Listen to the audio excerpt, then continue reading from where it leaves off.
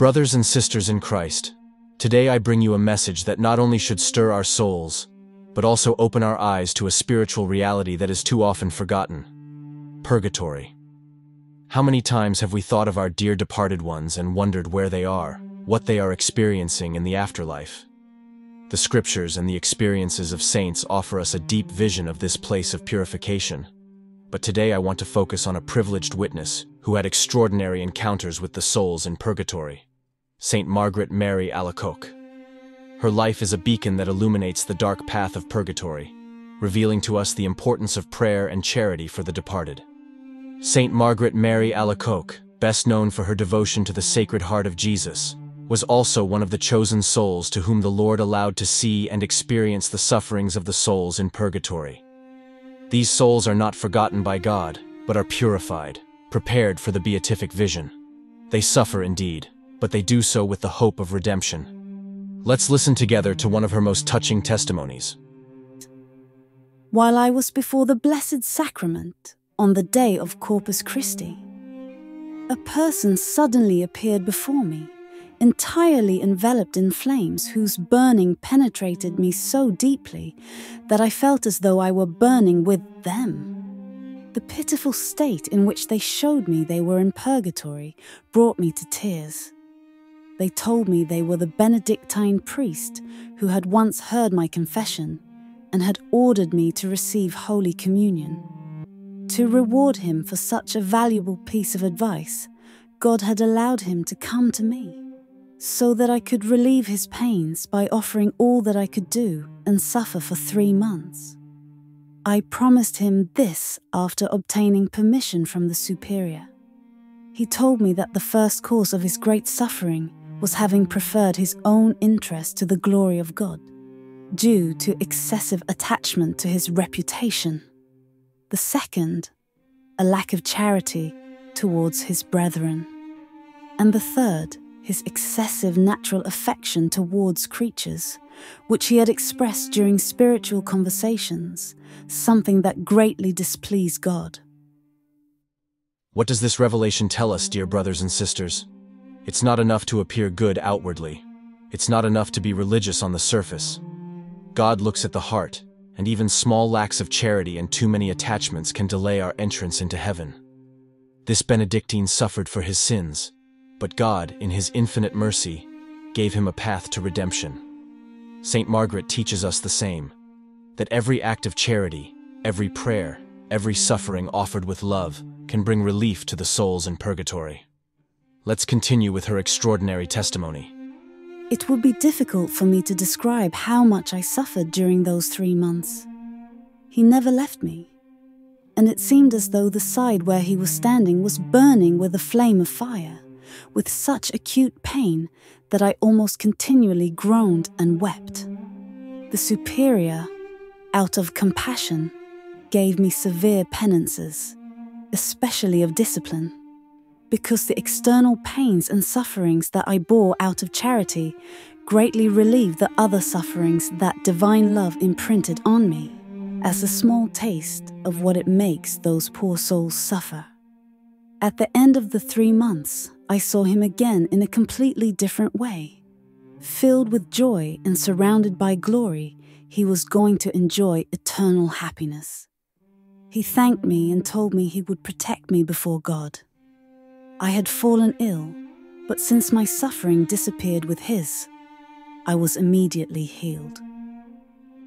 See, brothers, how charity not only purifies the souls in purgatory, but also heals those who practice it. Saint Margaret shared in that soul's pain, and in the end, she experienced the joy of liberation. It is a powerful reminder to each of us. We are called to pray for the dead, offer masses, sacrifices, and acts of penance to alleviate their sufferings. And God, in His goodness, will never fail to reward those who perform such works of mercy. Here is another revelation the saint received. This time it concerns not just any soul, but a religious sister. Once I saw in a dream a religious sister who had died long ago, who told me that she was suffering greatly in purgatory, and that God was making her endure an incomparable pain namely, the sight of a relative of hers who had fallen into hell, I awoke to these words, overwhelmed with such great anguish that it seemed as though she had passed her sufferings onto me. I felt my body broken to pieces, so much so that I could barely move. But since one should not believe in dreams, I did not pay much attention to it. Yet she forced me to take it seriously, even though I didn't want to. She insisted so much that she gave me no peace, continually saying, Pray to God for me. Offer your sufferings united to those of Jesus Christ to relieve mine. Give me everything you do until the first Friday in May, when you will receive communion for me, as I did with the Superior's permission. But my anguish increased so much that it oppressed me, and I could find no relief or rest. Obedience made me retire to rest, but as soon as I lay down in bed, it seemed as though she was beside me, saying these words Here you are, comfortably lying down in bed. Look at me lying in a bed of flames where I suffer intolerable pains. She showed me that horrible bed, which makes me shudder every time I think of it, for the mattress was made of sharp, fiery points that pierced her flesh. She told me it was because of her laziness and negligence in observing the rules and her infidelity to God. My heart is torn apart with burning iron combs, and this is my most cruel torment, for the thoughts of murmuring and criticism in which I indulged against the superiors, and my tongue is eaten by worms as a punishment for the words I spoke against charity and for having broken silence, my mouth is completely ulcerated. Oh, how I wish that all souls consecrated to God could see me in this horrible torment. If I could make them feel the greatness of my sufferings, and those prepared for those who live negligently in their vocation, without a doubt they would behave very differently, observing their duties with exactness, and would guard against the faults that make me suffer so much. This sister gives us a terrible but necessary image of the sufferings of purgatory. How many consecrated souls, who have given their lives to God, later allowed themselves to be dragged down by spiritual laziness and negligence? How many of them, just like us laypeople, have sinned with their tongues, failing in charity, murmuring, and criticizing? Yet this testimony also reminds us that there is hope, that even after death, God offers a path of purification. There is no despair in purgatory. There is pain, yes, but also the certainty of being loved and awaited in the kingdom of heaven. This sister doesn't just ask for prayers for herself, but for all the souls who, like her, suffer and repent of their sins. Brothers, in these testimonies, there is not only fear of judgment, but above all a call to love.